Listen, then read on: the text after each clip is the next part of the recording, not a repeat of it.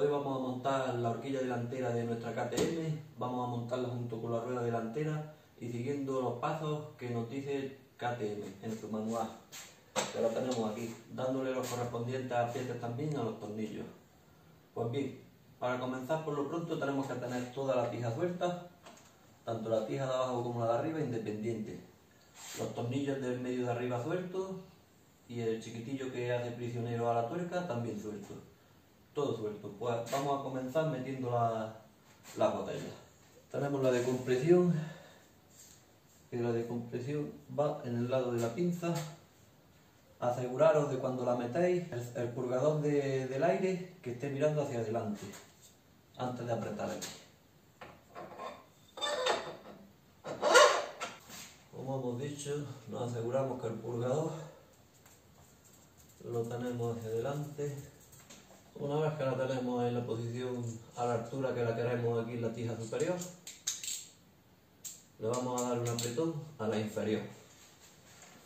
Solamente, solamente apretar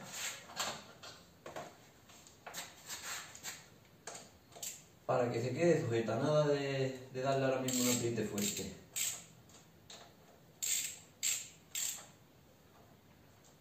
Vamos a hacer lo mismo con la de este lado.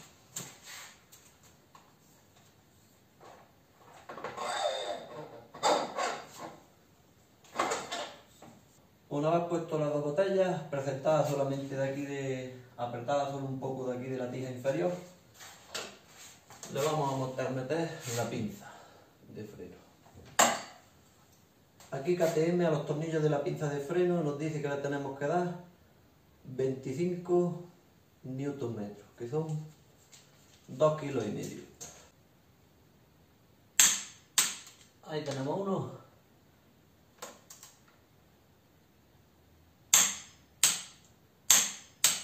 Y ahí tenemos el otro.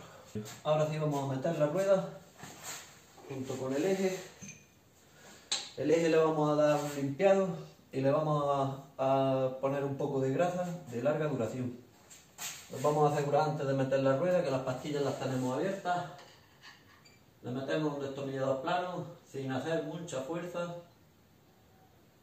Las vamos venciendo un poquito y así ahora nos resulta más fácil. Vamos a meter la rueda.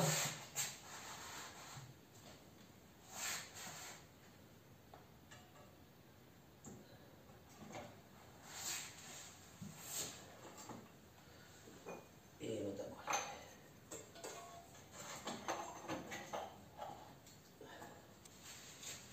Pues una vez que tenemos nuestro eje ya puesto, ponemos nuestro tapón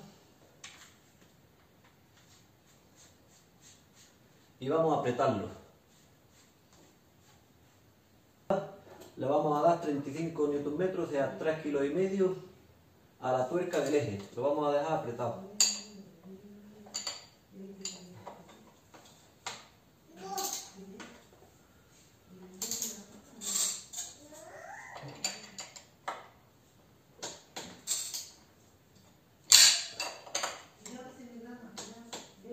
Ya tenemos ahí los 3 kilos y medio.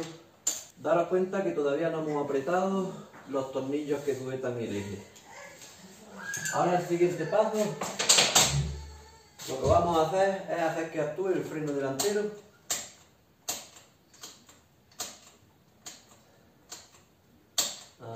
ya lo tenemos por ahí. Antes de seguir apretando nada, la tenemos que bajar del banco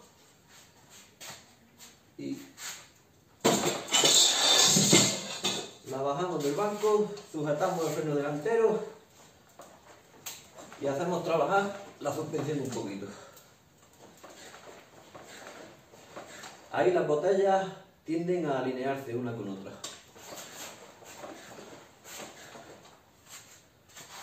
La bajamos de nuestro banco.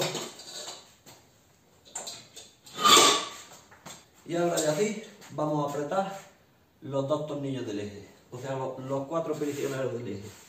Estos tornillos nos dice KTM que tienen que llevar un kilo y medio de apriete. Pues vamos a dárselo.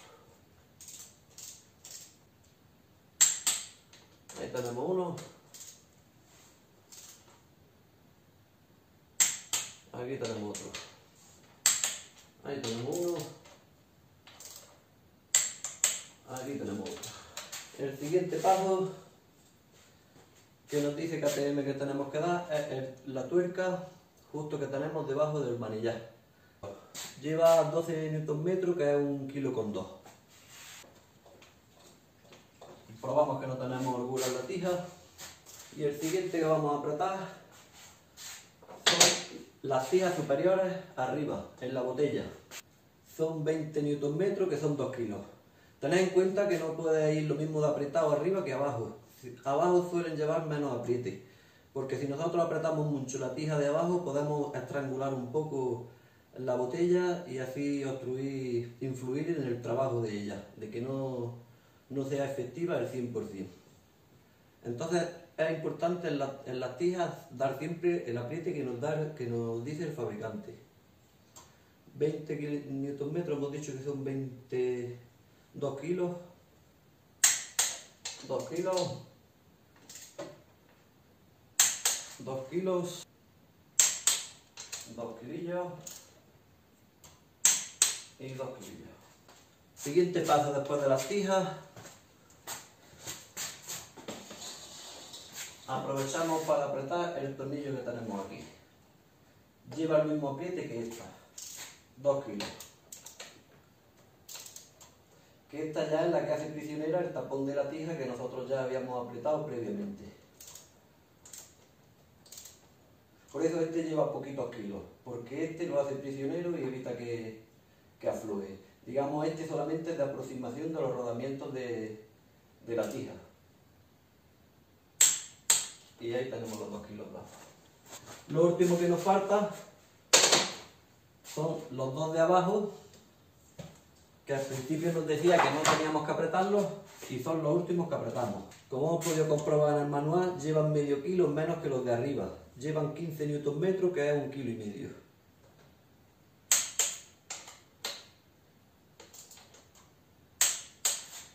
y medio, y medio.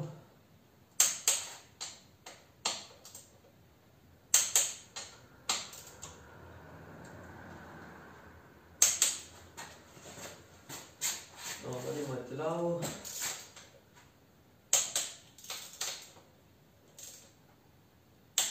Kilo y medio, kilo y Pues ya tenemos montada nuestra horquilla según nos dice KTM. No nos vamos a entretener ya en montar el faro y los dos cubre bastones. Pues ha sido todo con respecto al montaje de horquilla. Creerme que se nota el hacerlo bien a no hacerlo en condiciones. Sobre todo en los aprietes de las botellas. Limitamos el trabajo de ellas cuando aquí apretamos mucho. Pues ha sido todo. Si os ha gustado el vídeo suscribirse, gracias por verlo y nos vemos en el siguiente muy pronto. Un saludo.